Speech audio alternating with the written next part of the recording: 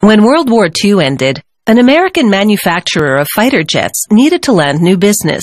The factory employed the same stretched aluminum process used for shaping aircraft wings and came up with an aluminum canoe. No fighting machine, the aluminum canoe is designed for a peaceful day at the lake. Among watercraft, the aluminum canoe is the strong, silent type. It resists breaking and cracking when it comes up against a rock or any other underwater object. This is one invention that's unlikely to sink into oblivion. Aluminum itself is too soft for canoe construction, so metals like magnesium, nickel, and silicon have been added to give it the needed strength. Factory employees unwind the aluminum alloy onto a work table. Using electric shears, they cut it to length. They lift the metal sheet onto a mold of part of the canoe hull. They clamp the metal to a hydraulic system and activate it. It pulls and stretches the aluminum alloy sheet to the mold, and it conforms to its shape. The molded sheet needs trimming. So they transfer it to a work table and place a template over the contoured section. They clamp it into place. With a scribe, one of the workers etches the pattern onto the molded aluminum. The team then transfers the aluminum sheet to a jig and cuts out the pattern following the etched outline. They shape and cut a second part exactly like the first. The two symmetrical halves will form the hull of the aluminum canoe. They bake the hull halves at 200 degrees Celsius for 8 hours. The heat strengthens the aluminum and adds rigidity to it. Out of the oven now, a member of the team aligns two halves. It's a perfect match, so he now lowers a large clamp.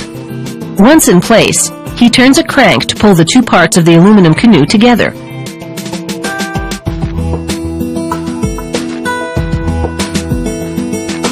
Tightly clamped, he welds the two parts along the bottom. This joins them with a watertight seam. With hand clamps, he tacks the two rounded ends together and welds here. He links the end welds to the one on the bottom, and the result is one continuous leak-proof weld from bow to stern.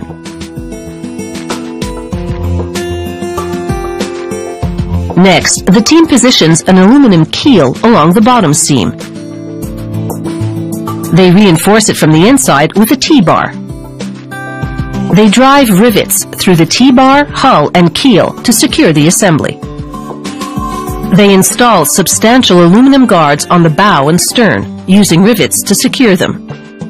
These guards will protect the end welds.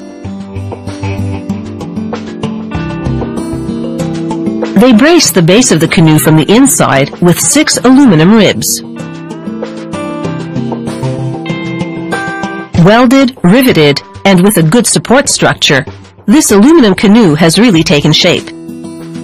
They equip the rim of the canoe with aluminum gunnels pounding them with a rubber mallet to improve the fit.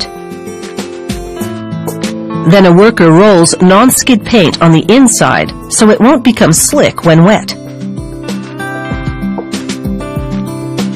They bring in incandescent heat lamps and the paint dries quickly in the warm glow. After just 30 minutes, the paint is dry. Then it's time to see if it'll float. They transfer the aluminum canoe to a tank of water. They clamp a bar across the canoe to apply 450 kilograms of pressure, more than the weight of two people. They check for leaks, especially around the rivets. There are none. Crossbars and bench seating complete the fabrication. There's one last bit of business, and that's the company insignia. This aluminum canoe is now ready for recreation. Ten hours in the making, the fun has only just begun.